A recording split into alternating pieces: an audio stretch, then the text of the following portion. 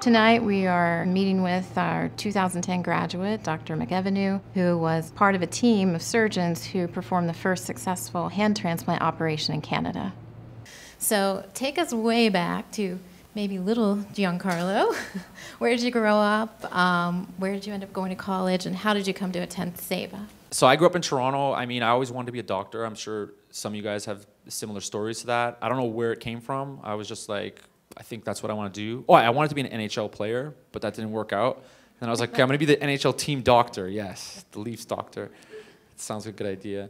I think it's important, like, you know, university's tough. And I think if you, you know, especially I went to University of Toronto undergrad and it was like, it was horrible. The first year was horrible. I'm sure people can relate. The first, you know, the grades are like terrible. It, my grades were terrible. i will never show that in a presentation.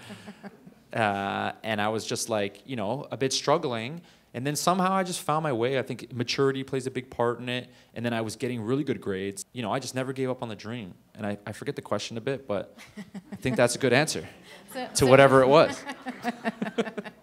uh, the last part of it was how did you come to attend SABA in particular? I really wanted to go to U of T. That was like, I was brainwashed from day one of U of T. Like, I see these guys with their fancy matching backpacks. But I kind of realized, like, that's not my dream. My dream isn't going to University of Toronto and saying I was at University of Toronto Medical School. My dream is becoming a doctor. And then when I spoke to a few graduates and the residency match list, which I thought was kind of like, I didn't really understand it. That's the most important thing. Like, if you look at the residency match list, not only where they're graduating, but how many of them are.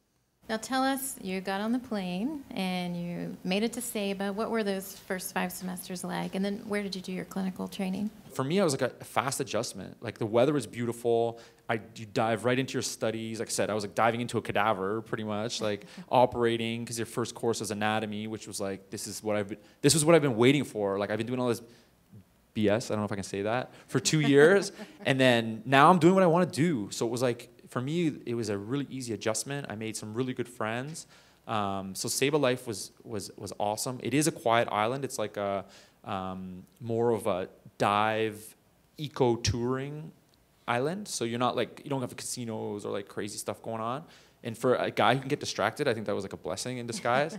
and you know, I studied a lot. And then clinicals, you know, the school really helped you set up the clinicals and I liked moving around and I wanted to go to university affiliated hospitals. So I did extra work. Like I went to Mayo Clinic for plastic surgery. Like that was awesome. Like I got a reference letter. I got to do surgery in the US. I got to do uh, surgery in all, different American cities. I got to do surgery here in Canada. I did some electives here. Okay, it sounds like from day one you wanted to be a surgeon. Yeah. But what was it that led you to plastic and reconstructive surgery? Was there something in your clinical rotations, or how did you get to that particular field in surgery? Yeah, so I was definitely like gung ho surgery, and I actually never thought it would be possible plastic surgery. Because again, I was like, I'm coming from the Caribbean.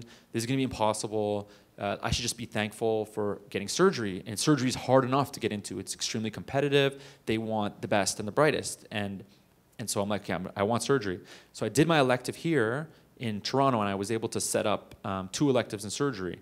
And now it's, I think they have a lottery system because there's so many people that want to come to Toronto. It's, it's a very difficult thing to actually get the elective in what you want. You have to be very flexible in terms of the timing, apply early, and maybe be flexible. And so for me, they're like, the general surgery is full. I was like, what do you mean? no. But uh, they were like, general surgery's booked up, but you can do ortho and you can do plastics. And I was like, great. Like, what a waste. Like, grumbling. But then I was like, you know what? I'm going to do them both, and I'll get a letter, and they're from surgeons, and then I can get into general surgery, and this is going to work out fine. So I did ortho, and I hated it. I was like, these guys are savages. They have hammers and drills. This is surgery. Surgery's delicate and gentle. And so I was like, I hate this. This has been a waste. I was, I'm an emotional guy. I get all worked up, you know. And then, uh, so then I did plastics, and right from the beginning, I was like, this is incredible. And um, but I'm never gonna get it. So you know, just do your best. And then one night we had this lady who had attempted suicide, and she'd almost cut off her whole hand.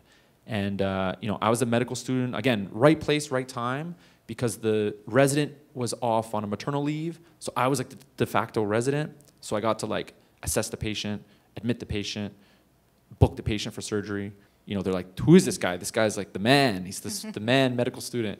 And I, you know, we go under the microscope, similar to what I showed you, and we're reattaching, kind of like the transplant, but it's a replant because it's our own hand, and we're reattaching it, and we're under the microscope, and it's like the whole night surgery, and I'm like in there, and I'm doing everything, and I'm like, this is having time of my life. Actually, I was like, this is, this, I found what I want to do. Like this is incredible.